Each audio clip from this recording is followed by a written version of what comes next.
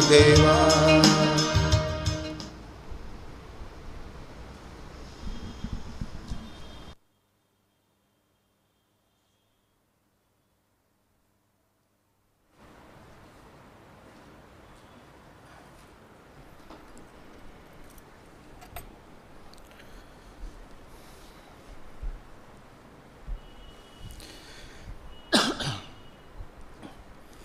ఈ మూడో మాసము మొదటి దినమున మరి పర్యాము మనమందరం కలిసి సంఘముగా ఆయన సన్నిధిలో కూడి రాగలిగే మరి యొక్క శ్రేష్టమైన సమయాన్ని ప్రభు మన కొరకు అనుగ్రహించేందుకు మనం ఎంతైనా ఆయనకు రుణస్థలము. ప్రార్థనలో ప్రవేశించేదానికంటే ముందుగా పరిశుద్ధ గ్రంథం నుంచి కొన్ని లేఖనాలు ధ్యానించుకొని ప్రార్థనలో ప్రవేశిద్దాం. లుకాసు వార్త లోకాసు వార్త ఇరవై ఒకటో అధ్యాయం.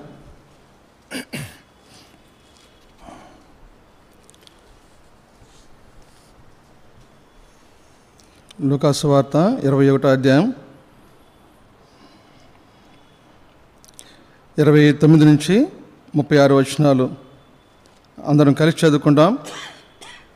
లుకాసు వార్త ఇరవై ఒకటో అధ్యాయం.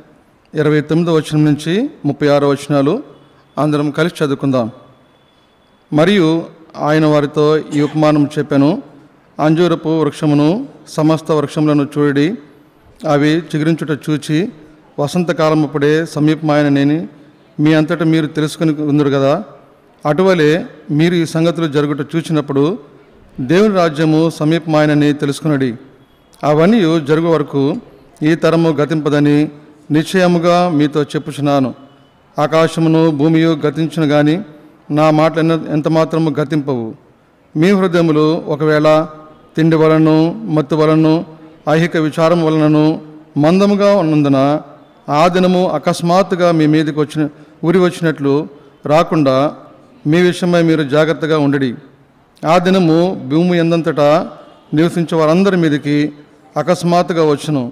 కాబట్టి మీరు జరగబో వీటినెల్లాను తప్పించుకొని మనిషి కుమారుని ఎదుట నిలబడుటకు శక్తి గల వారన్నట్లు ఎల్లప్పుడూ ప్రార్థన చేయొచ్చు మెలకుగా ఉండడని చెప్పాను. ప్రభు సహాయం కొరకై ఆయన వైపు చూస్తాం.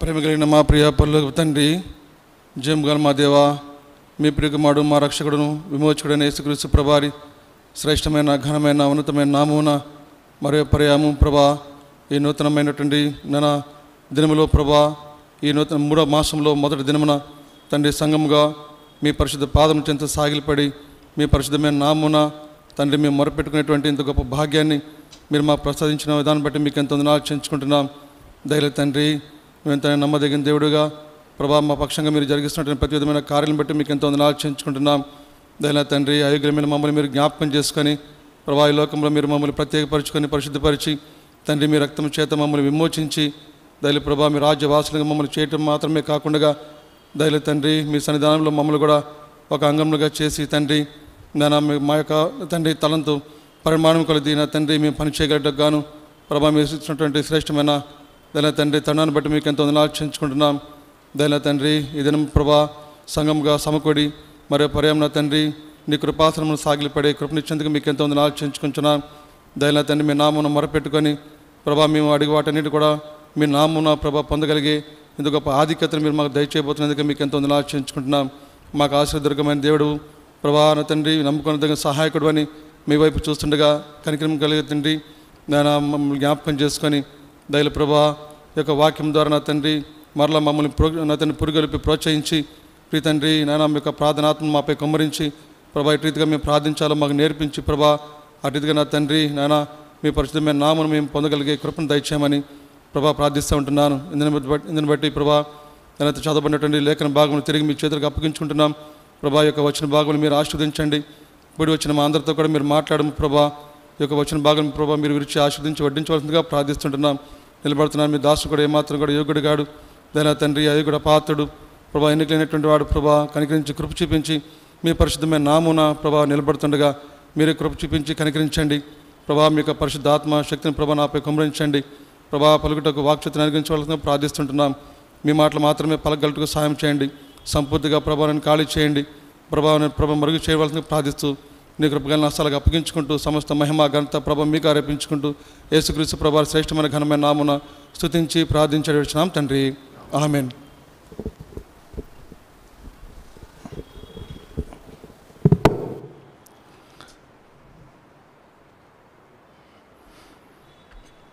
యేసుక్రీస్తు ప్రభువారు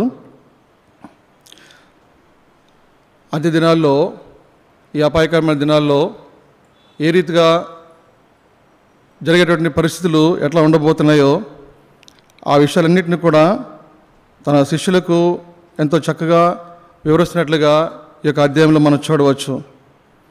ప్రాముఖ్యంగా ఈ లోకసువార్త ఇరవై ఒకటో అధ్యాయము ఇరవై తొమ్మిది నుంచి ముప్పై ఆరో వచ్చిన వరకు మనం చదువుకుంటూ వచ్చినాం. జా జాగ్రత్తగా గమనించినట్లయితే ఈ అంత్యకాలంలో అపాయకరమైన దినాల్లో ఈ చివరి గడియల్లో ఈ లోకంలో జీవిస్తున్నటువంటి ఆయన బిడ్డలకు అదేవిధంగా తన ఏర్పాట్లో ఉన్నటువంటి వారిని తన చిత్తానుసారంగా జీవించేటువంటి వారి వారిని ఆయన చిత్తవృత్తి చెప్పున జరిగించే వారికి వరకు యేసుక్రీస్తు ప్రభువారు ఎన్నో సంగతులను వివరిస్తూ వచ్చినటువంటి వారి సందర్భంగా మనం చూ చూడవచ్చు ఈ యొక్క అధ్యాయంలో. అంటే యేసుక్రీస్తు ప్రభువారు ఆయన యొక్క శిష్యులను ఏ రీతిగా సిద్ధపరుస్తుంటున్నారో ఆ విషయాలన్నీ కూడా ఇందులో రాయబడుతూ వచ్చినాయి. గమనించినట్లయితే యేసుక్రీస్తు ప్రభువారి తన యొక్క శిష్యులను ఉద్దేశించి మాట్లాడుతూ వస్తుంటున్నప్పుడు ఇది సంఘానికి సాదృశ్య రూపంగా ఉందని మనం గమనించవచ్చు. అంటే ఈ సంఘము అనేకమైనటువంటి శ్రమలు ఇరుకులు ఇబ్బందులు శోధనలు గుండా వెళ్ళవలసిందేనని తన యొక్క భవిష్యత్ జ్ఞానాన్ని బట్టి యేసుక్రీస్తు ప్రభువారు ముందుగానే శిష్యులను హెచ్చరిస్తున్నట్లుగా ఇక్కడ మనం జ్ఞాపకం చేసుకునవచ్చు. ఇక్కడ చూసినట్లయితే ఒకవేళ ఈ సంఘము తిండి వలన మత్తు వలన ఐహికమైనటువంటి విచారణ వలన ఒకవేళ మందంగా ఉంటుందేమో అనేటువంటి విషయాన్ని ముందుగా తెలుసుకున్న వాడై జాగరూకత కలిగి ఉండాలని మెలకు కలిగి ఉండాలని తన శిష్యులను ఉద్దేశించి మాట్లాడుతున్నట్లుగా ఇక్కడ కనబడుతూ ఉంది. చూడండి ప్రభు ఇచ్చినటువంటి హెచ్చరికను శిష్యులు ఎంతో జాగ్రత్తగా విన్ వింటున్నట్లుగా మనకు కనబడుతూ ఉంది. అపోసుల అపోసుల కాలంలో పద్నాలుగు ఇరవై రెండులో మనకు ఒక మాట చదువుకోవచ్చు. అపోసుల కార్యంలో పద్నాలుగో అధ్యాయం ఇరవై రెండో వర్షంలో మనము అనేకమైనటువంటి శ్రమలను అనుభవించి దేవుని రాజ్యంకి మనము వెళ్ళాలి అనేటువంటి ఆ మాటను ఇక్కడ చదువుతాం. అయితే సంఘముగా ఈ లోకంలో సిద్ధపరుస్తూ అనేకమైనటువంటి శ్రమలు అనుభవించినప్పుడు కూడా ఆ శ్రమల ద్వారా మాత్రమే దేవుని యొక్క రాజ్యానికి మనము వారసులం కావాలన్నటువంటి విషయాన్ని యేసుక్రీస్తు ప్రభువారు తన యొక్క శిష్యులకు ఎంతో స్పష్టంగా తెలియపరిచినట్లుగా ఉంటున్నాడు. అట్లయితే ఈ లోకంలో జీవిస్తున్నటువంటి విశ్వాసమైనటువంటి మనందరూ కూడా జ్ఞాపకం చేసుకోవాల్సినటువంటి విషయం ఏంటంటే విశ్వాసమైనటువంటి యాత్ర జీవితాల్లో కొనసాగుతుంటే మనమందరం కూడా విశ్వ క్రైస్తవ యాత్ర జీవితం అనేది ఏమాత్రం కూడా సామాన్యమైనటువంటి జీవితం కాదు. అది సుఖానుభవంతో కూడినటువంటి జీవితం కాదు. క్రైస్తవ జీవితం అనేది ఎంతో కష్టతరమైనటువంటి జీవితము. అలా కొనసాగించాలంటే ఎన్నో శ్రమల గుండా వెళ్ళవలసిందే అన్నటువంటి విషయాన్ని మనము గమనించాల్సినటువంటి వారంగా ఉన్నాం.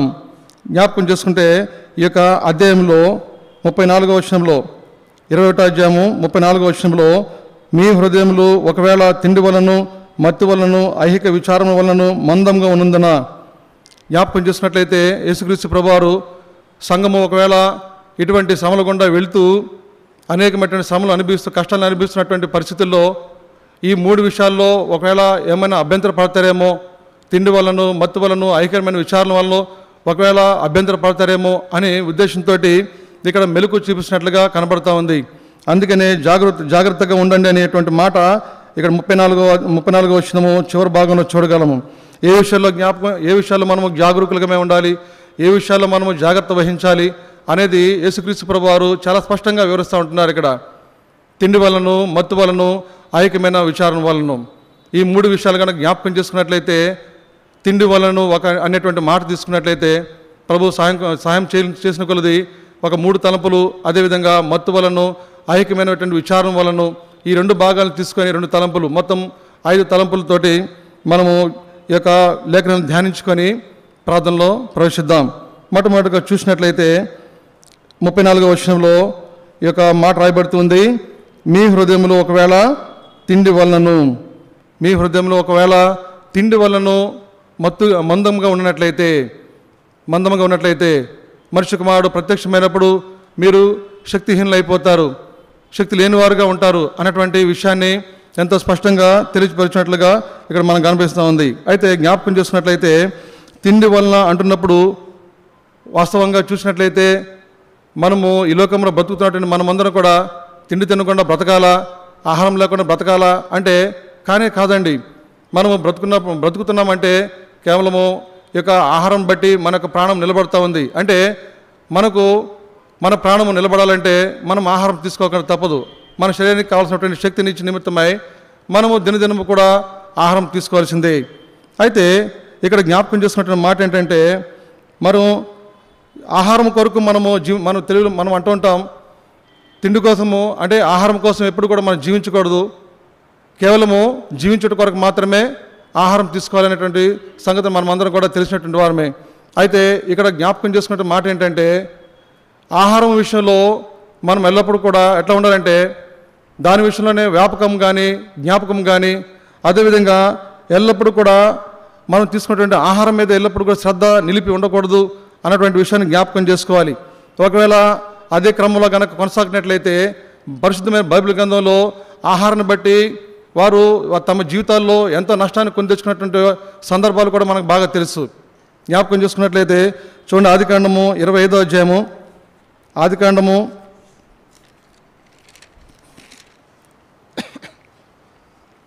ఆదికాండము ఇరవై ఐదో అధ్యాయము ముప్పై నాలుగో వచ్చినము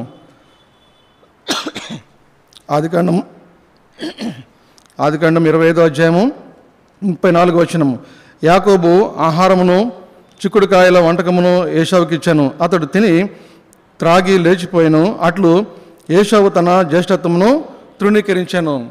తన యొక్క జ్యేష్ఠత్వాన్ని పోగొట్టుకుంటూ వచ్చాడు ఏషావు. యాకోబు తను చేసినటువంటి కలగూర వంటకము ఆ ఎర్ర ఎర్రగా ఉన్నటువంటి వంటకాన్ని చూసి ముగ్ధుడైపోయి తను ఆశిస్తూ వచ్చాడు. ఆహారం కొరకు ఆశపడుతూ వచ్చాడు. ఏషావు ఆహారాన్ని నాకు కూడా నాకు కూడా కావాలని తన సహోదరుని అడుగుతూ వచ్చినప్పుడు యాకబుని అడుగుతూ వచ్చినప్పుడు నా ధన జ్యేష్ఠత్వాన్ని ఇచ్చేయమంటప్పుడు నాకెందుకు ఈ జ్యేష్ఠత్వం అని వదిలివేసుకుంటూ వచ్చాడు. నేను ఎట్లాగో చనిపోతాను కదా? అంటే వేటాడి తీసుకొచ్చినటువంటి మాంసము ఎల్లప్పుడూ కూడా తండ్రి అయినటువంటి ఇసాకు పెడుతూ ఉంటున్నాడు. అది తన జీవితంలో జరి జరిగేటువంటి క్రమము. అయితే ఒక ఒక ఒకవేళ నేను వేటకు వెళ్ళి నేను చనిపోతానేమో ఎప్పటికైనా సరే చనిపోయిన వా- చనిపోయవలసిన వాడినే కాబట్టి నాకు ఎందుకు ఈ జ్యేష్ఠత్వం అనుకున్నాడేమో కానీ తన యొక్క జ్యేష్ఠత్వాన్ని కేవలము కేవలము తన యొక్క ఆ యొక్క ఎర్ర ఎర్రని కూర ఆ కలగూర వంటకాన్ని బట్టి తన యొక్క జ్యేష్ఠత్వాన్ని పూర్తిగా అమ్మేసుకున్నట్లుగా అక్కడ మనం జ్ఞాపకం చే- జ్ఞాపకం చేయబడుతూ ఉంది. కాబట్టి యేసేవు ఏ విధంగా తన యొక్క జ్యేష్ఠత్వాన్ని అమ్మేసుకుంటూ వచ్చినాడో మనం చూసినట్లయితే తన యొక్క ప్రధానత్వాన్ని పోగొట్టుకుంటూ వచ్చినాడు. తన యొక్క ఆశీర్వాదాలను అంటే తండ్రి ద్వారా తనకి నిత్యమైనటువంటి ఆశీర్వాదాలు పోగొట్టుకుంటూ వచ్చాడు. ఆ ప్రధానత్వాన్ని పోగొట్టుకుంటూ వచ్చాడు. జ్యేష్ఠత్వాన్ని పోగొట్టుకుంటూ వచ్చాడు. ఈ దినాల్లో చూసినట్లయితే అనేకులుగా ఈ యొక్క ఈ యొక్క సందర్భ ఈ యొక్క సందర్భాన్ని కనుక మనం చూసుకున్నట్లయితే ఏషావు అయితే జ్యేష్ఠత్వాన్ని అమ్మేసుకున్నాడు. అయితే అనేకులు కూడా ఇదే పరిస్థితిలో కొనసాగుతూ ఉంటున్నారు. ఎట్లా అంటే వారు కడిపే వారు దేవుడు అన్నట్లుగా దేవుడు వారిని ఏ విధంగా ఏర్పరచుకున్నారో తన పరిచయ నిమిత్తం కొనసాగింపు చేస్తున్నాడో ఆ పరిచయలో వారు కొనసాగుతూ దేవుడిచ్చినటువంటి ఆశీర్వాదాలను కానివ్వండి తలంతులు కానివ్వండి వారు ఎట్లా అంటే వారు అమ్మేసుకున్నట్లుగా ఉంటున్నారు. ఆ తలంతులు వారు వారు ఏం చేస్తారంటే అపవాదికి తాకట్టు పెట్టి సత్యాన్ని అసత్యంగాను ఉన్నవి లేనట్టుగాను లేని ఉన్నట్లుగాను అబద్ధ బోధకుల్లాగా అబద్ధ అబ అబద్ధ బోధకుల్లాగా కొనసాగుతూ దేవుని దృష్టికి ఎంతగానో అవమానకరమైనటువంటి స్థితిలో ఉంటున్నవారుగా ఉన్నారని మనం గమనించవచ్చు. అయితే జ్ఞాపకం చేసుకున్నట్లయితే వారు తమ యొక్క బోధల విషయంలో అమాయకమైనటువంటి ప్రజలందరూ కూడా త్రిపివేసి అసత్యాన్ని అసత్యాన్ని చూపిస్తూ సత్యాన్ని వారికి ఎంతమాత్రం కూడా కనపరచనీయకుండా వారి వారి తమ యొక్క కుయుక్తి చే కుయుక్తి చేత కుట్లమైనటువంటి బోధ చేత వారు ఈ యొక్క పరిచయను అమ్ముకునేటువంటి పరిస్థితి తన నూనె సీసాల ద్వారా కానివచ్చు మరొక వస్తువుల ద్వారా కావచ్చు అనేకమైనటువంటి పద్ధతుల్లో వారు వెళ్తూ అమాయక ప్రజలను వారు తప్పుదో పట్టిస్తూ తమ యొక్క తప్పుడు బోధల చేత వారిని ఎంతగానో దేవుని వైపు త్రిప్పకుండా అట్లా వారి యొక్క పరిచయను ఎట్లా ఉండాలంటే అపవాది చేతికి అప్పగించిన వారుగా ఉంటున్నారు. అపవాది చేతికి అప్పగించి దేవుడి చెంటు తలాంతులను ఆ ఆశీర్వాదాలని వారు ఎంతగానో దుర్యోగ దుర్వినియోగపరిచినట్లుగా మనము గమనించవచ్చు.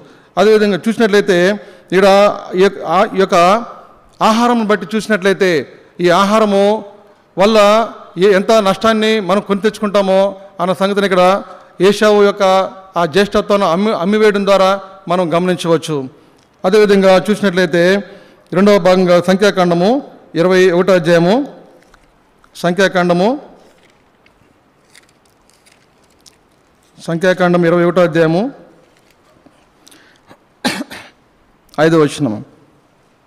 సంఖ్యాకాండము ఇరవై ఒకటో అధ్యాయము ఐదవ వచనము. అందరం కలిసి చదువుకుంటాం కాగా ప్రజలు దేవునికిని మోషకును విరోధంగా మాట్లాడి ఈ అరణ్యములో చచ్చుటకు ఐగుప్తుల నుండి మీరు మమ్మల్ని ఎందుకు రప్పించితిరి? ఇక్కడ ఆహారం లేదు నీళ్ళు లేవు. చనిసారం లేని ఈ అన్నము మాకు అసహ్యమైనది చనిసారం లేని ఈ అన్నము మాకు అసహ్యమైనదని చూడండి ఇక్కడ ఇస్రాయల్ ప్రజలు మోషకును దేవునికి ఎంత విరోధంగా మాట్లాడుతూ ఉంటున్నారో. ఇస్రాయల్ ప్రజలను ఐగుప్తు నుంచి విడిపించిన తర్వాత వారి యొక్క యాత్ర జీవితాల్లో దేవుడు ఎంత మాత్రం కూడా వారికి లోటు చేయలేదు. వారు ఆకలి కొన్నప్పుడు పరలోకం నుంచి మన్నాన్ని కురిపిస్తున్నట్టు దేవుడు వారు నీళ్ళు అడిగినప్పుడు బండను కొట్టి బండ నుంచి నీళ్ళు నీళ్ళని రప్పించినటువంటి దేవుడు వారి యొక్క అవసరతలన్నింటిలో కూడా తీరుస్తున్నప్పుడు కూడా వారు ఇంకనూ సడుక్కునే వారుగా ఉంటున్నారు. ఇక్కడ చూస్తే మోస మీద దేవుని మీద వారు సనిగినట్లుగా మనకు కనబడుతూ ఉంది. ఇక్కడ చని సారము లేని ఈ అన్నము మాకు అసహ్యమైనదని చని సారం లేనటువంటి అన్నము ఆహారము ఆహార నిమిత్తమై వారు ఎంతగానో పోరాడుతున్నట్లుగా అంటే విరోధంగా మోషేకును అదేవిధంగా దేవునికి మాట్లా విరోధంగా మాట్లాడుతున్నట్లుగా ఇక్కడ మనం జ్ఞాపకం చేసుకునవచ్చు. చూసినట్లయితే ఆ తర్వాత జరిగినటువంటి పరిణామం ఏంటంటే దేవుని యొక్క ఉగ్రత ఇసాల్ ప్రజల మీదకి ఏర్పడుతూ ఇసాల్ ఇస్రాయల్ ప్రజల మీదకి ఉంటూ వచ్చింది. వారు సమర తాపకరమైనటువంటి సర్పాలను పంపించి వారందరినీ కూడా నాశనం చేసినట్లుగా అక్కడ చూస్తాము ఇక్కడ. ఆ కింద చూసినట్లయితే చూడండి కాబట్టి ఆ, ఆరో వచనము అందుకు యెహోవా ప్రజల్లోనికి తాపకరమైన సర్పములను పంపెను. అవి ప్రజలను కరవగా ఇస్రాయల్లో అనేకులు చనిపోయారు. ఇస్రాయల్లో అనేకులు చనిపోయారు. ఎంత బాధాకరమైనటువంటి విషయం ఏంటంటే కేవలము ఒక ఆహారం నిమిత్తమై వారు భౌతికమైనటువంటి ఆ శరీరానికి అవసరమైనటువంటి ఆహారం నిమిత్తమై దేవునికి విరోధంగా పాపం చేసి వారు మరణాన్ని కొని తెచ్చుకుంటూ వచ్చారు. వారు మరణాన్ని కొని తెచ్చుకుంటూ వచ్చారు. చూడండి కీర్తన గ్రంథము డెబ్బై ఎనిమిది. డెబ్బై ఎనిమిదో కీర్తన. ఆహారం విషయంలో వారు ఎంతగా దిగజారిపోతూ వచ్చారంటే వారికి మాంసం పెట్టినప్పుడు కూడా వారి పంటలో ఆ మాంసం ఉండగానే వారు ఎంతగా ప్రభు మీద సనుగుతా ఉన్నారు ఒకసారి జ్ఞాపకం చేసుకుందాం. డెబ్బై ఎనిమిదో కీర్తన ఇరవై తొమ్మిది నుంచి ముప్పై ఒకటి వచ్చిన అందరం కలిసి చదువుకుందాం. డెబ్బై ఎనిమిదో కీర్తన ఇరవై తొమ్మిది నుంచి ముప్పై ఒకటి వచనాలు మూడు వచనాలు అందరం కలిసి చదువుకుందాం. వారు కడుపార తిని తనిసిరి. వారు ఆశించిన దానిని ఆయన అనుగ్రహించాను.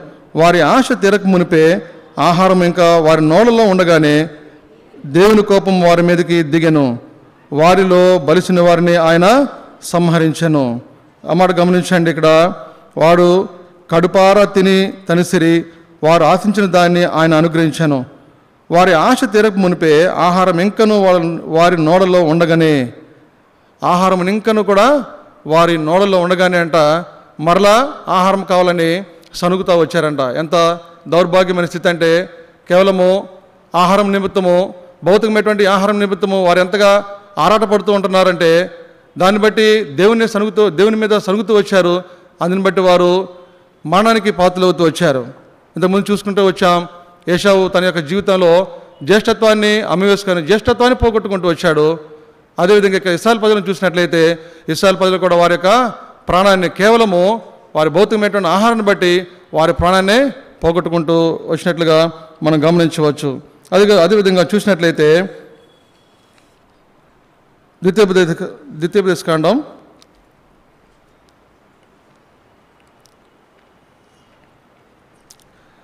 ద్వితీయోపదేశ కాండం ఇరవై ఒకటో అధ్యాయం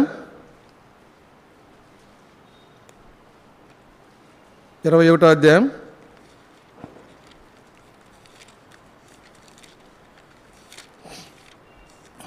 ద్వితీయోపదేశకాండం ఇరవై ఒకటో అధ్యాయం ఇరవై వచనం ఇరవై ఇరవై ఒకటి వచనాలు అందరం కలిసి చదువుకుంటాం. మా కుమారుడైన వీడు మొండివాడై తిరగబడి ఉన్నాడు. మా మాట వెనుక తిండిపోతును త్రాగిపోతును ఆయనని ఊరి పెద్దలతో చెప్పవలను. అప్పుడు ఊరి ప్రజలందరూ రాళ్ళతో అతని చావగొట్టవలను అట్లు ఆ చరిత్రమును నీ మధ్య నుండి పరిహరించదువు. అప్పుడు ఇసాలందరూ విని భయపడుదురు. ఇసాలందరూ విని భయపడుదురు. అదేవిధంగా పంతొమ్మిది కూడా ఒకసారి చదువుకుంటాం. పంతొమ్మిది వచ్చిన కూడా ఒకసారి అందరం కలిసి చదువుకుంటాం. అతని తల్లిదండ్రులు అతన్ని పట్టుకొని ఊరి గవని యొద్ద కూర్చుండు పెద్దల యొద్దకు అతన్ని తీసుకుని వచ్చి మా కుమారుడైన వీడు మొండివాడై తిరగబడి ఉన్నాడు. మా మాట వెనక తిండిపోతును త్రాగుబోతును. ఆయనని ఊరి పెద్దలతో చెప్పవలను. ఈ మాట గమనిద్దాం. తిండిపోతును త్రాగుబోతును.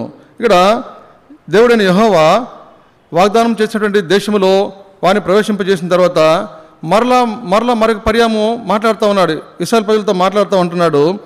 ఎవరైనా ఎవరికైనా తల్లిదండ్రులు వారి కుమారుల విషయంలో వారి కుమారులు చేసినటువంటి ఈ యొక్క తప్పిదాన్ని బట్టి ఏం తప్పిదాన్ని బట్టి అంటే వారు ఒకవేళ తల్లిదండ్రులకి తిరగబడుతున్నప్పుడు తల్లిదండ్రుల మాట వినకపోయినప్పుడు వారిని ఏం చేయాలంటే రాళ్ళతో కొట్టాలని ఇక్కడ ఇక్కడ ఇక్కడ జ్ఞాపకం చేయబడతా ఉంది. అంటే ధర్మశాస్త్రం ప్రకారంగా ఏదైనా తప్పు చేసినప్పుడు పాపం చేసినప్పుడు రాళ్ళతో కట్ట రాళ్ళతో కొట్టి చంపాలి అన్నటువంటి నియమం ఒకటి ఉందన్న సంగతి మనకు అందరికీ తెలిసిందే. అయితే ఇక్కడ జ్ఞాపకం చేసినట్లయితే ఇక్కడ తల్లిదండ్రులు ఇక్కడ ఫిర్యాదు చేస్తూ ఉన్నారు. ఏమని ఫిర్యాదు ఫిర్యాదు చేస్తూ ఉంటున్నారంటే మా కుమారుడైన వీడు మొండివాడై తిరగబడుచున్నాడు. మొండువాడే తిరగబడుచున్నాడు. దేన్ని బట్టి మొండితనము? దేన్ని బట్టి తిరగబడే తత్వము ఉందంటే కేవలము అక్కడ రాయబడుతూ వచ్చింది తిండిపోతును త్రాగుబోతును. కేవలము తిండి తిండిపోతు తత్వాన్ని బట్టి ఆ త్రాగుబోతు తత్వ తత్వాన్ని బట్టి అక్కడ తల్లిదండ్రులు ఆ కుమారుని ఆ పెద్దలకు అప్పగించినప్పుడు ఆ పెద్దలు ఏం చేస్తూ వచ్చారంటే అతన్ని తీసుకువెళ్ళి రాళ్ళతో కొట్టి చంపాలన్నటువంటి నియమాన్ని విధిస్తూ వచ్చినారు. జ్ఞాపకం చేసుకున్నట్లయితే ఇక్కడ తిండిపోతనాన్ని బట్టి తను ఆ యొక్క కుమారుడు ఆ విధమైనటువంటి శిక్షను పొందుకోవాల్సినటువంటి వాడుగా ఉంటూ వచ్చాడు. జ్ఞాపకం చేసుకున్నట్లయితే అందుకనే ఆహారం తినే విషయంలో మనం చాలా జాగ్రత్తగా ఉండాల్సినటువంటి అవసరత ఎంత ఉంది. సొలోమను రాజు జ్ఞానిటువంటి సొలోమన్ రాజు కూడా సామెతల గ్రంథంలో ఎంతో శ్రేష్టమైనటువంటి మాట అక్కడ మాట్లాడతాడు. చూడండి సొలోమన్ సామెతల గ్రంథం సామెతల గ్రంథం ముప్పై అధ్యాయం సామెతల గ్రంథం ముప్పై అధ్యాయము ఎనిమిదో వచనము. చివరి మాటగా అందరం కలిసి చదువుకుందాం. తగినంత ఆహారము నాకు అనుగ్రహించము. జ్ఞాని అయినటువంటి సులోమను రాజు ఇక్కడ జ్ఞాపకం చేసినట్టు మాట ఏంటంటే తగినంత ఆహారం నాకు దయచేయమంటాడు ఇక్కడ. నాకు తగినంత ఆహారం దయచేయము. అంటే నాకు అవసరమైనంత మరొక వరకు మాత్రమే ఆహారం దయచే ప్రభా. ఒకవేళ అవసరానికి మించి కనుక నాకు ఆహారం ఆహారం కనుక దొరికినట్లయితే నేను దేవుడు ఎవడని నేను చెప్తానేమో అని తను ముందుగానే గ్రహించిన వాడై ఇక్కడ ఆ మాట మాట్లాడుతూ ఉన్నాడు. నాకు అవసరమైనటువంటి ఆహారం అంటే తగినంత ఆహారం మాత్రమే దయచేయము అని ఇక్కడ మాట్లాడుతూ ఉంటున్నాడు. కాబట్టి ఈ విషయాన్ని కనుక జ్ఞాపకం చేసుకున్నట్లయితే మనము ఆహారం తీసుకునే విషయంలో ఎట్లా ఉండాలంటే చాలా జాగరూకతగా కలిగి ఉండ కలిగి ఉండాల్సినటువంటి అవసరత ఎంతో ఉంది. ఈ విషయంలో మనం ఎంత తేలిగ్గా తీసుకుంటామో కానీ ప్రభు ఇచ్చినటువంటి ఈ యొక్క హెచ్చరికలను కనుక జాగ్రత్తగా గమనించినట్లయితే మనము మనిషి కుమారుడు ప్రత్యక్షమైనప్పుడు ఆయన ఆయన మనం ఎదుర్కొనేటటువంటి పరిస్థితుల్లో ఆయన ఎదుర్కొనేటప్పుడు మనం కూడా శక్తి కలిగిన వాటి వారముగా ఉండాలంటే ఈ యొక్క భౌతికపరమైనటువంటి ఆహార విషయంలో చాలా జాగ్రత్త జాగరూకత కలిగి ఉండాల్సినటువంటి అవసరత ఎంతో ఉంది. జ్ఞాపకం చేసుకుందాం. అందుని బట్టే మితమైనటువంటి ఆహారం తీసుకోవడం అనేది చాలా ప్రాముఖ్యమైనటువంటి విషయం. చూడండి సామెతలు ఇదే సామెతల గ్రంథం ఇరవై మూడో అధ్యాయం ఇరవై మూడో అధ్యాయం రెండో వచనంలో ఎంత చక్కని మాట మాట ఉంది. సామెతల గ్రంథం ఇరవై మూడో అధ్యాయము రెండో వచనంలో అందరం కలిసి చదువుకుందాం. నీవు తిండిపోతు అయిన ఎడల నీ గొంతుకకు కత్తి పెట్టుకొనుము. చూడండి ఎంత తీవ్రమైన మాట అంటే ఒకవేళ నీవు తిండిపోతు అయిన ఎడల నీ కత్తికి నీ గొంతుకు ఏం పెట్టుకోవాలంట? కత్తి పెట్టుకోవాలంట. కత్తి మన పరిశుద్ధ బ్రహ్మ గంధాన్ని బట్టి ఏం జ్ఞాపకం చేయబడుతుందంటే వాక్యానికి సాదృశ్యంగా సాదృశ్యంగా ఉంది. అంటే మనము గొంతుకకు ఏం పెట్టుకోవాలంటే వాక్యాన్ని మనము వాక్యాన్ని మనం గుర్చుకోవాల్సిందే. అంటే కత్తిని గుర్చుకోవాలంటే వాక్యాన్ని గుర్చుకోవాల్సిందే. చూడండి సామెతలు మూడు మూడులో ఆ మాట చదువుతాం. దయను సత్యమును కంఠహారంగా ధరించమని అక్కడ మాట మాట చదువుతాం. సామెతల గంధం మూడో అధ్యాయము మూడో వచ్చినము రెండవ వరుసలో రాయబడి ఉంది. మూడవ వచనము దయను సత్యమును ఎన్నడను నిన్ను విడిచిపోనీయకము వాటిని కంఠభూషణముగా ధరించుకొనము. ఎక్కడ ధరించుకోవాలంటే అండి? కంఠభూషణముగా. అంటే మనము ఆ యొక్క కత్తిని అంటే దయను సత్యాన్ని మనము కంఠభూషణముగా ఆభరణంగా మనం ధరించుకోవాలి అని సొలమును ఎంత చ- స్పష్టంగా జ్ఞాపకం చేస్తూ ఉంటున్నాడు. కాబట్టి ఈ యొక్క వాక్యాన్ని మనము కంఠాభరణంగా ధరించినప్పుడు మనం కూడా ఆహారము మితంగా తీసుకునే విషయంలో చాలా జాగ్రత్త పడతామన్నటువంటి సత్యాన్ని మనం ఎరిగిన వారముగా ఉండాలి. అయితే ఇక్కడ చూసినట్లయితే ఈ యొక్క ఈ యొక్క వచన భాగం ద్వారా మనము తెలుసుకోవాల్సినటువంటి ఆత్మీయ సత్యం ఏంటంటే ఒకవేళ మనము ఈ మితాహారం కనుక తీసుకొని పోయినట్లయితే తండ్రితో మనకు ఏమాత్రం కూడా సంబంధం అనేది ఉండదు. తండ్రితో మనకున్నటువంటి స్థానాన్ని మనం పోగొట్టుకునే వారంగా ఉంటాము. ఇంతకుముందు సంఖ్యా కా- సంఖ్యాకాండం ఇరవై అధ్యాయంలో మనం చూసుకుంటూ వచ్చాం. తండ్రితో తల్లిదండ్రులతోటి ఏ విధంగా తను తన కుమారుడు వైదొలిగిపోతూ వచ్చాడో ఆ విషయాన్ని మనం గమనిస్తూ వచ్చాం. ఈ భాగంలో కనుక చూసినట్లయితే తండ్రితో మన తండ్రి అయిన దేవుడు తన తండ్రి అయిన దేవునితోటి మనము ఆ స్థానాన్ని ఆ తండ్రి అయిన దేవునితో పోగొట్టుకునే వారంగా ఉంటాం. తండ్రితో సహవాసాన్ని పోగొట్టుకునే వారంగా ఉంటాం. కాబట్టి గమనించి జాగరూకులమై ఉండాల్సినటువంటి అవసరత ఎంతో ఉంది. అదేవిధంగా తెస్లోనికి రాసిన మొదటి పత్రిక తెస్లోనికి రాసిన మొదటి పత్రిక ఐదో అధ్యాయం.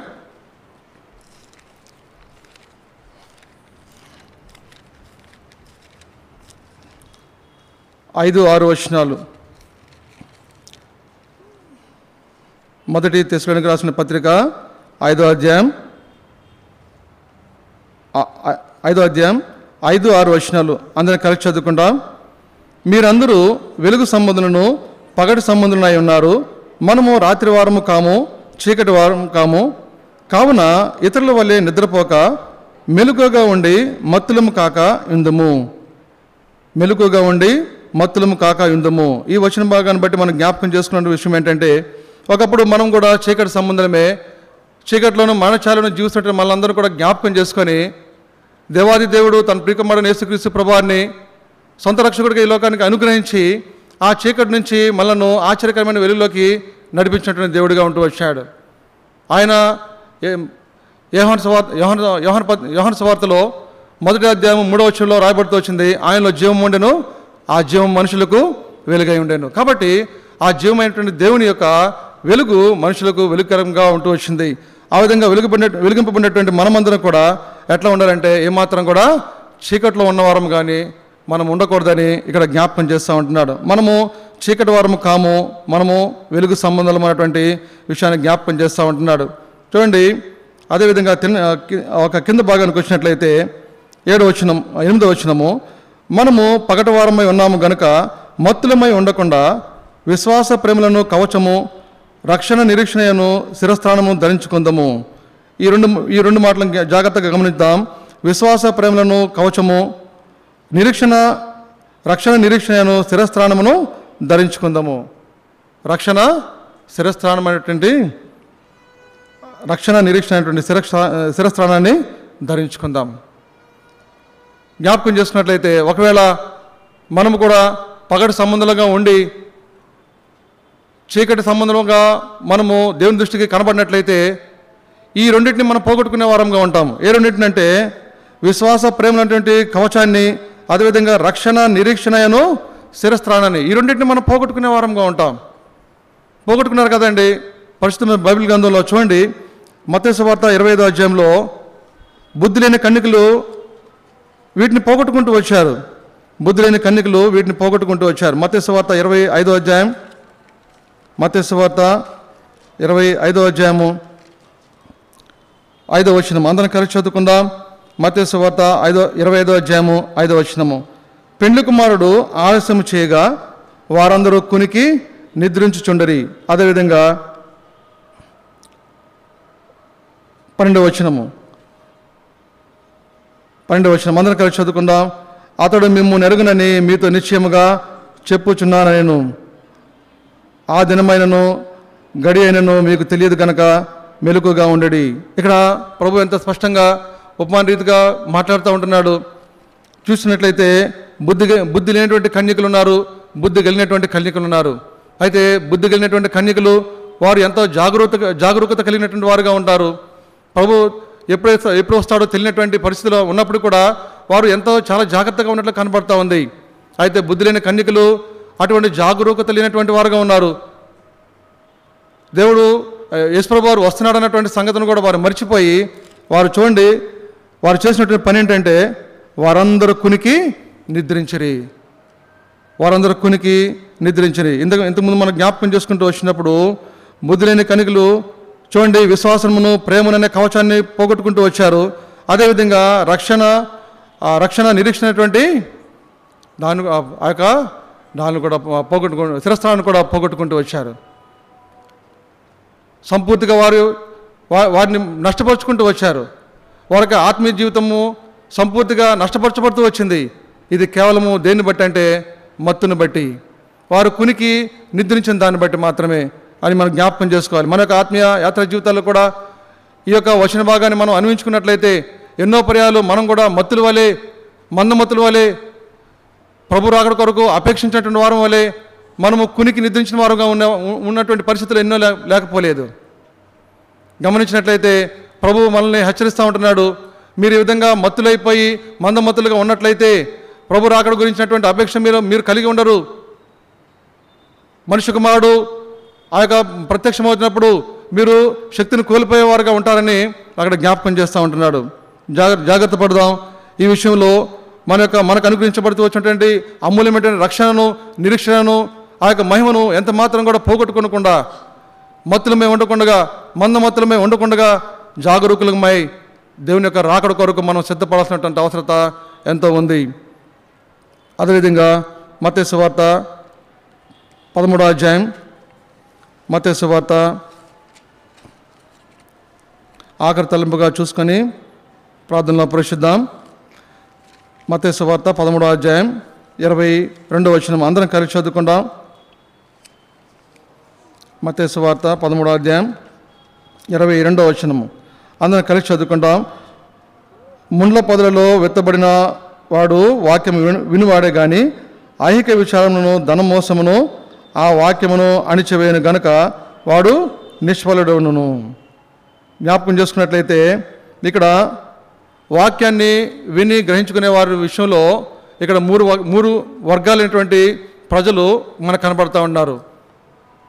త్రవ పక్కన విత్తబడినటువంటి వారు అదేవిధంగా ముండ్ల పదలో పడినటువంటి విత్తనం కలిగినటువంటి వారు అదేవిధంగా రాతి మీద పడినటువంటి విత్తనం కలిగిన వారు. ఈ మూడు రకాలైనటువంటి ప్రజలను కనుక జ్ఞాపకం చేసుకున్నట్లయితే ఇక్కడ మూడో వర్గంగా చెప్తున్నాడు ఇక్కడ ముండ్ల పదవుల్లో వెత్తబడినవాడు వాక్యం వినివాడే కానీ ఐహికమైన విచారాలను ధనమోసమును ఆ వాక్యమును అణిచివేను కనుక వాడు నిష్ఫలుడు నిష్ఫలుడు. ఏమాత్రం కూడా ఫలభరితమైనటువంటి జీవితాన్ని కొనసాగించలేనటువంటి వాడు. ఎప్పుడంటే ఈ స్థితి ఎప్పుడు కొనసాగుతుందంటే కేవలము ఐహికమైనటువంటి విచారాలను బట్టి ఈ లోక సంబంధమైనటువంటి విచారాలను బట్టి ఈ లోక సంబంధమైనటువంటి ఆచారాలను బట్టి దేవుని యొక్క వాక్యము ఏమాత్రం కూడా హృదయంలో నిలిచి ఉండేటువంటి పరిస్థితి కనపడదు. ఇక్కడ చూసినట్లయితే దేవుని యొక్క వాక్యము అణిచివేయబడడానికి గల కారణం ఏంటంటే ఐక్యమైన విచారాలు. ఈ దినము విశ్వాసంగా కొనసాగుతున్నటువంటి మన యొక్క జీవితాల్లో కూడా ఇటువంటి ఐక్యమైన విచారాలను బట్టి ఈ యొక్క ఐశ్వర్యం అని ధనం అని స్థానాలని ఇంకా మరొకటి మరొకటి అని వీటన్నిటిని బట్టి మన యొక్క ఆత్మీయ జీవితాలు చలారిపోయిన ఉండ చలారిపోయే విధంగా ఉంటాయి. మన యొక్క ఆత్మీయ జీవితాలు ఎంత మాత్రం కూడా ఫలభరితంగా ఉండ ఉండనటువంటి స్థితిలో ఉంటాయి. కాబట్టి ఈ వచ్చిన భాగం ద్వారా ప్రభు మనతో మాట్లాడుతూ ఉంటున్నాడు. ఒకవేళ ఐక్యమైన విషయాలను బట్టి మందమతులైపోతారేమో ఈ విషయంలో కూడా మీరు జాగరూకులుగా ఉండాల్సినటువంటి అవసరత ఎంత ఉంది? గమనించినట్లయితే ఈ యొక్క ఐక్యమైన విచారాలను బట్టి ఆ యవనస్తుడు కూడా నిత్య జీవాన్ని పోగొట్టుకుంటూ వచ్చాడు. కదండి నిత్య జీవాన్ని పోగొట్టుకుంటూ వచ్చాడు. యేసుప్రభారు ముందు అనేకమైనటువంటి మాటలు చెప్తూ వచ్చాడు. అయ్యా నువ్వు మా ఆజ్ఞలు అన్నింటినీ కూడా పా- పాటిస్తున్నాను అని చెప్తూ వస్తున్నప్పుడు అయితే నువ్వు ఒక పని చేయాలి. నీ ఆస్తిని నమ్మి బేదలకు పంచిపెడుతూ వచ్చిన పంచిపెట్టమని చెప్తున్నప్పుడు తను చిన్నపుచ్చుకొని వెళ్ళిపోతూ వచ్చాడు. అంటే నిత్య జీవానికి తను వెళ్ళడానికి ఇష్టపడలేకపోతూ వచ్చాడు. తన ధనం ఎక్కడ వెళ్ళిపోతుందో తన ద- ధనము ఎక్కడైతే ఖర్చు పెట్టాల్సి వస్తుందో భయపడుతూ వచ్చాడు. అంటే అక్కడ ప్రాధాన్యత ఎవరికి ఇస్తూ వచ్చాడంటే నిత్య జీవానికంటే కూడా ఐక్యమైన విచారాలను బట్టి తాను ఆలోచిస్తూ వచ్చాడు. ఆ నిత్య జీవాన్ని పోగొట్టుకొని వచ్చాడు. పోగొట్టుకుంటూ వచ్చాడు. ఎంత విచారకమైన విచారకమైన సంగతి. విశ్వాసంగా మనం మనం కూడా ఈ యొక్క యాత్రా జీవితాలు కొనసాగుతూ వస్తుంటున్నప్పుడు ఇటువంటి యవనస్తుడు యవనస్తుడు కలిగినటువంటి ఆ ఆలోచన మనం కలిగి ఉండలేదా? జ్ఞాపకం చేసుకున్నట్లయితే మనం కూడా అనేక పర్యాలు దేనికి ఇవ్వాల్సినటువంటి ప్రాధాన్యతను ఇవ్వకుండా వాక్యానికి ఇవ్వాల్సినటువంటి ప్రాధాన్యతను ఇవ్వకుండా సరైనటువంటి విధానంలో ప్రభుని మనం సేవించకుండా ఎంతసేపు మన యొక్క కుటుంబ అవసరతలు కానివ్వండి లేదంటే మన బిడ్డల అవసరతలు కానివ్వండి తీర్చబడాలని లేదంటే మనము ఏదో బంగారాన్ని సంపాదించుకోవాలి స్థలాన్ని సంపాదించుకోవాలి మరొకటి మరొకటి మన యొక్క ఈ లోకానికి సంబంధించినటువంటి అవసరతలన్నీ తీర్చబడేటువంటి విధానాన్ని కొనసాగిస్తున్నాము కానీ దేవుని యొక్క వాక్యాన్ని మనం ఎంతగా పఠిస్తున్నాము? దేవుని యొక్క వాక్యాన్ని ఎంతగా సమకూర్చుకుంటున్నాము? అన్నటువంటి సత్య అన్నటువంటి విషయాన్ని మనము ఎన్నో పర్యాలు విస్మరించిన వారుగా ఉంటాం జ్ఞాపకం చేసుకున్నట్లయితే ధనము ధనము ధనము మన యొక్క ఆత్మీయ జీవితాన్ని అణిచివేసేదిగా ఉంటుంది. ధనము మన యొక్క ఆత్మీయ జీవితాన్ని అణిచివేసేది ఉంటుంది. మొదటి కొరింది రాసిన పత్రిక ఆరో అధ్యాయము పదో వచనంలో రాయబడింది రాయబడింది అన్ని కిడులకు మూలము ధనమే. ధనమే అన్ని మూల అన్ని కిడులకు మూలమే. మరొక మాటలు మనం మనం చెప్పుకోవాలనుకుంటే మన అన్ని తలనొప్పులకు ఈ యొక్క ధనమే ఈ యొక్క ఐశ్వర్యమే అని మనం చెప్పుకొనవచ్చు. జ్ఞాపకం చేసినట్లయితే చూడండి ఆది కాండంలో అబ్రహాం యొక్క జీవితాన్ని కనుక మనం తీసుకున్నట్లయితే అబ్రహాము సో అబ్రహం అబ్రహాం దగ్గరికి సుధమరాజు వచ్చి అయ్యా ఈ ప్రజలను ఈ ప్రజ ఈ ప్రజలు నాకు ఇవ్వు ఈ ధనాన్ని నువ్వు తీసుకో ఈ ఆస్తి నువ్వు తీసుకో అని చెప్తూ వచ్చినప్పుడు అబ్రహాం అబ్రహాం ఏం మాట్లాడుతూ వచ్చాడండి? సుధమరాజుతో ఏం మాట్లా ఏం మాట్లాడుతూ ఏం మాట్లాడుతూ వచ్చాడు? నేనే అబ్రహామును ఐశ్వర్యవంతుడిగా చేశానని నువ్వు చెప్పుకొనుకున్నట్లుగా నువ్వు చెప్పుకొనుకున్నట్లుగా ఒక నూలు పోగైనను చెప్పులు వారైనను నేను తీసుకొనను. నేను తీసుకున్నాను చెప్తూనే ఏం అక్కడ ప్రమాణం చేతి ప్రమాణం చేస్తూ ఉంటాడు ఆకాశమునకు భూమినికు సృష్టికర్త అయిన సర్వోన్నతమైన దేవుని దేవుని దేవుని ఎదుట నేను చెయ్యెత్తి ప్రమాణం చేస్తున్నాను అని అక్కడ అబ్రాహము సుధమ యొక్క రాజుతో చాలా స్పష్టంగా మాట్లాడుతూ ఉంటున్నాడు. అబ్రహాము ధనవంతుడు కాదండి. ధనవంతుడు కాదా? అది కాను పదమూడో అధ్యాయం రెండో వచ్చంలో వెండి బంగారంలో అదేవిధంగా పశువులు కలిగినటువంటి ధనవంతుడు అబ్రహాము చాలా ధనవంతుడండి. అయినప్పుడు కూడా తను ఐక్యమైన విచారాలను బట్టి ధనం మీద ఏమాత్రం కూడా వ్యామోహం పెట్టుకోలేదు తను. సోదమరాజు అడుగుతూ వచ్చినప్పుడు అబ్రాహం కూడా ఆ యొక్క ఆస్తిని తీసుకోవాల్సి ఉండాల్సినటువంటి వాడు. నాకు కావాలి ఆస్తి అంటే సోదమరాజు ఇవ్వడండి ఇస్తాడు కదా. అయితే ఏమాత్రం కూడా ఆస్తి మీద తనకి ఏమాత్రం కూడా వ్యామోహం లేదు. ఆ విధంగా తను ఏమాత్రం కూడా ఆశించలేదు. ఈ విషయాన్ని మనం జ్ఞాపకం చేసుకున్నట్లయితే ఈ ధనం ధనం మోహం అనేది ఎంత భ్రష్టత్వాన్ని తీసుకొస్తుందో ఆత్మీయమైనటువంటి ఎంత ఆత్మీయంగా మనల్ని ఎంతగా దిగజార్చి వేస్తుందో అన్న సంగతిని ఇక్కడ జ్ఞాపకం చేసుకునవచ్చు. అబ్రాహం వలె మనం కూడా ఒకవేళ ధనవంతులు అయి ఉండొచ్చు లేదంటే లే లేమితనం అయి ఉండొచ్చు అయినప్పుడు కూడా ఈ యొక్క ఐక్యమైన విషయాలను బట్టి ఏ మాత్రం కూడా దేవుని మనం వదిలిపెట్టుకునే స్థితిలో మనం ఉండకూడదు అన్నట్టు సత్యాన్ని మనం గమనించాలి. అందుని బట్టి సామెతల గ్రంథంలో ఒక మంచి రా ఒక చక్కని మాట రాయబడుతుంది. పదహారో అధ్యాయము ఆ పదిహేనో అధ్యాయం పదహారో వచనంలో నెమ్మది లేకుండా విస్తారమైన ధనం సంపాదించడం కంటే ఆ యహో భయభక్తులు కాని వారితో కొంచెం ఉండుట మేలు శ్రేష్టము. విస్తారమైనటువంటి ధన సంపదలు మనం సంపాదించుకుంటున్నామే కానీ దేవుని మనం సంపాదించుకునే విషయంలో వెనకబడేటువంటి స్థితిలో ఉంటున్నామని సంగతి మనం జ్ఞాపకం చేసుకోవాలి. జ్ఞాపకం చేసుకుంటే ఇక్కడ లోకసవార్త ఇరవై ఒకటో అధ్యాయము ఇరవై పంతొమ్మిదో వచ్చిన నుంచి మనం మనం చూస్తూ వచ్చినాం. ఒకసారి జ్ఞాపకం చేసుకుందాం. చివరిసారిగా లోక వార్త ఇరవై ఒకటో అధ్యాయము. లోక సువార్త ఇరవై ఒకటో అధ్యాయము ముప్పై నాలుగు వచ్చినము మీ హృదయములు ఒకవేళ తిండి వలన మత్తు వలన ఐక్య విచారము వలనను మందముగా ఉన్న ఉన్న- ఉన్నందున ఆ దినము అకస్మాత్తుగా మీ మీదకి ఉరి వచ్చినట్టు రాకుండా మీ విషయమై మీరు జాగ్రత్తగా ఉండు యేసు వారు హెచ్చరిక చేస్తూ ఉంటున్నాడు మీ విషయమై మీరు జాగ్రత్తగా ఉండాల్సిందే. ఇది వ్యక్తిగతంగా ఎవరికి వారు జాగ్రత్తగా ఆలోచించుకొని ఆత్మీయమైన విషయాల్లో ఎంతో జాగరూకత కలిగినటువంటి అవసరత ఎంతో ఉందన్న సత్యాన్ని మనం గమనించాలి. ఒకవేళ మనం కూడా ఇటువంటి నష్టాలను కొని తెచ్చుకుంటామేమో ఆహారాన్ని బట్టి ఇంతకుముందు మనం చూసుకుంటూ వచ్చాం. ఆహారాన్ని బట్టి ఏషావు తన జ్యేష్ఠత్వాన్ని పోగొట్టుకుంటూ వచ్చాడు. అదేవిధంగా ఆహారాన్ని బట్టి ప్రాణాన్ని పోగొట్టుకుంటూ వచ్చాను. తండ్రితో ఉన్నటువంటి ఆ యొక్క సంబంధాన్ని ఆ యొక్క సన్నిహితమైనటువంటి సంబంధాన్ని మనం కోల్పోతూ వచ్చిన వారంగా ఉన్నాం. అదేవిధంగా చూసినట్లయితే ఈ యొక్క ఈ యొక్క మత్తును బట్టి మనము జాగరూకులకు లేకుండా ఆ ప్రభు వచ్చే సమయంలో కునికి నిద్రించేటువంటి వారంగా ఆత్మీయంగా నష్టపోయేటువంటి స్థితిలో ఉంటూ వచ్చిన వారంగా ఉంటున్నాం. ఒకవేళ ఆ పరిస్థితులు ఉన్నట్లయితే మనం జ్ఞాపకం చేసుకోవాలి. అదేవిధంగా ఐక్యమైన విచారాలు గల ఐక్య ఐక్యమైనటువంటి విచారాలను బట్టి మనం ఏమాత్రం కూడా దేవుని దృష్టికి అయోగ్యంగా ఉండకపోయినట్లయితే మందమతులుగా ఉన్నట్లయితే మనిషి కుమారుడు ప్రత్యక్షమైనప్పుడు ఒకవేళ శక్తిహీనం అయిపోతామేమో ప్రభుని అడుగుదాం. ఈ రాత్రి వేళ సంగమంగా కూడి వచ్చిన మనమందరం కూడా ప్రభు పాదాలు పట్టుకొని ప్రభు నిజమే ఎన్నో సందర్భాల్లో నేను అజాగరూకుడిగా ఉన్నానయ్యా. నేను మత్ మందంగా ఉన్నాను మత్తుండైపోతూ వచ్చాను. ఐక్యమైన విచారాలను బట్టి నేను దూరం చేసుకుంటూ వచ్చానయ్యా. అదేవిధంగా నా యొక్క భౌతికమైనటువంటి ఈ శరీరాన్ని సుఖపెట్టుకోవడానికి నేను ఆహారం కొరకు వెంపర్లాడుతూ వచ్చాను. నన్ను క్షమించమని ప్రభు పాదాలు చెంత సాగిలపడి మనం ఒప్పుకున్నప్పుడు ప్రభు తప్పనిసరిగా మనల్ని కనికరించేవాడు. మన యొక్క తప్పిదాలను మనం క్షమించేవాడు. మన బలహీనతలను క్షమించేవాడు. ఆ విధంగా మనం ఈ యొక్క వచ్చిన భాగాలను జ్ఞాపకం చేసుకొని ప్రభు పాదాల చెంత సాగిలపడి ఒప్పుకొని యోగ్యమైన విధానంలో మనము ప్రార్థన చేయడానికి ప్రభు మనకి సహాయం చేయను గాక ఈ కొన్ని మాటలు దేవుడు దీవించను గాక ప్రార్థనలు ప్రవేశిస్తాము. ప్రభువు మీ హృదయంలో ఉంచిన భారం కొలది ప్రార్థన చేయండి. ప్రత్యేకంగా యుగ సంబంధమైన దేవత అవిశ్వాసులైన వారి మనోనేత్రాలకి గుడితనం కలిగజేశాడు. ఎంతోమంది సత్యాన్ని గురించినటువంటి ఎరుకలేక నిజం నిజమునకు దేవుళ్ళు కాని వారిని పూజిస్తూ తమ జీవితాలను వ్యర్థపరుచుకుంటా ఉన్నారు.